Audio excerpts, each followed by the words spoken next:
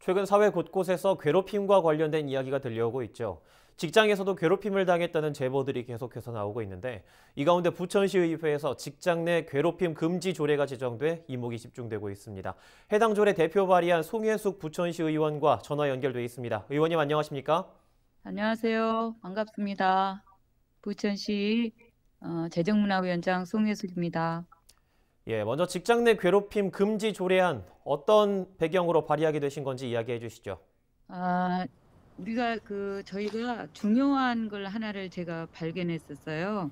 그 우리가 부천시 그 노사민정 어, 협의회에서 그 연구 보고서가 하나를 그 요번에 2020년도 거를 발표한 적이 있어요. 거기에 의하면 그 우리 고용노동부에서 직장 내 괴롭힘 사, 진정 사건 조치 현황을 보면 2019년 7월 16일 시행 이후 엄청나게 많은 그 진정 사건이 있었어요. 약 뭐 4,066건 정도가 있었고 폭언은 한 1,900건, 그다음에 부당 인사도 1,000건, 뭐 따돌림, 뭐 험담 또 570건 정도가 있고 있었고요.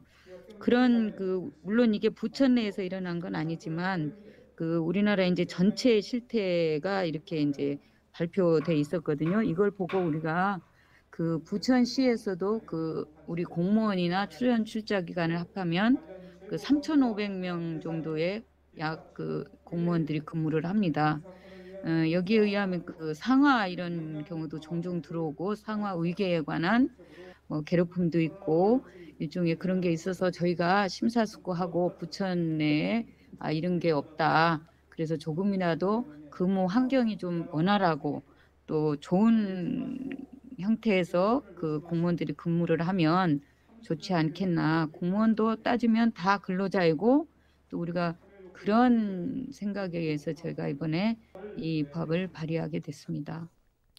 예, 연구 보고서상으로 굉장히 많은 숫자의 지금 직장 내 괴롭힘이 발생하고 있기 때문에 이런 조례안을 발의하셨다 얘기를 해주셨는데요. 그렇다면 조례안에 어떤 내용들이 구체적으로 담겨 있는지 좀 이야기해 주시죠. 아, 우선 이 우리가 이제 직장 내 괴롭힘은 저희가 처음 이게 하는 거라 사실은 그렇게 뭐 중요하지는 않지만 그 사조에 보면 누구든지 이제 직장 내 괴롭힘 행위를 하여서는 안 되는 게 들어 있고 또 이제 누구든지 직장 내 괴롭힘 발생했을 때 경우에 신고할 수 있다. 이런 내용하고 제 이제 5조에는 어, 직장 내 괴롭힘 예방 예방은 이제 시장이 직장 내 괴롭힘 예방을 위한 교육, 교육을 1년에 1회 이상 실시하도록 했고요. 또 대상 기관은 어, 기관장은 직장 내 괴롭힘 예방을 위한 교육을 1년에 이상 또는 이 그 예방에 관한 어, 교육 방식도 이제 그 구체적으로 해서 교육을 하도록 이렇게 저희가 그 조항에 넣습니다. 그리고 이제 시장 및 대상 기관 장은 소속 직원들이 직장 내 괴롭힘 사건을 신고했을 때 어, 구제 절차를 쉽게 할 수 있도록 또 적극 홍보하도록 저희가 이런 규정을 두었고요. 또 6조에는 이제 직장 내 괴롭힘 발생 시 시장은 대, 대상 기관 장은 어, 직장 내 괴롭힘 발생을 했을 때 이렇게 적절한 조치를 취해서 피해 직원의 의사에 반하는 이렇게 해서는 아니하도록 의사에 반하지 않게 어, 일종의 이제 피해 직원을 보호할 수 있게끔 저희가 예, 시장의 책무에 넣었습니다. 또 어, 시장이 어, 그 우리가 이제 이거는 일종의 이제 발생하기 전에 예방을 해야만 되기 때문에 주로 이번에 그 처음 이게 발의하면서는 예방에 관한 거를 많이 중점을 두었어요. 그래서 우리가 감사 담당관실에서 이거를 담당하도록 저희가 과를 그쪽에 배정을 했습니다. 예, 이번 조례를 통해서 괴롭힘이 없는 올바른 문화가 민간까지 좀 확대가 됐으면 좋겠는데요. 어, 무엇보다 역시나 조직 구성원들의 노력이 가장 중요할 것 같습니다.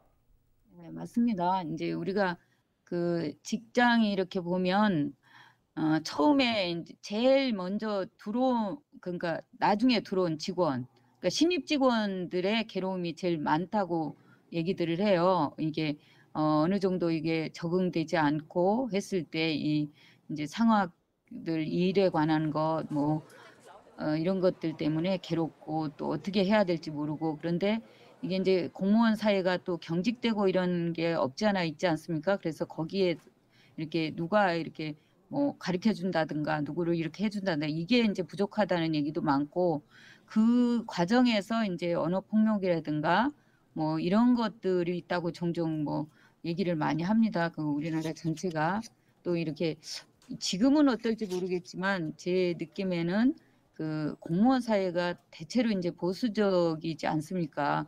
이게 보면 그래서 이게 조직 사회이기 때문에 조직들 간의 상하 이런 것들이 어, 잘 원활하지 않고 이루어지면 자칫 개인의 그 인권과 관련된 여러 가지 사항이 발생할 수 있다고 봐서 저희가 차제에 이제 우리 어, 괴롭힘 방지 조례를 하면서 어, 그런 것들을 예방할 수 있게 어, 지금 전체 그 공무원 사회 지자체에서 그 윤리 교육이라는 걸 하고 있습니다. 그 윤리와 이런 교육을 할때 어, 우리가 감사 담당과실에서도 이런 것도 같이 교육을 하면 좋지 않겠나 해서 저희가 이런 어, 충분히 그 예방에 관한 거를 하도록 했습니다.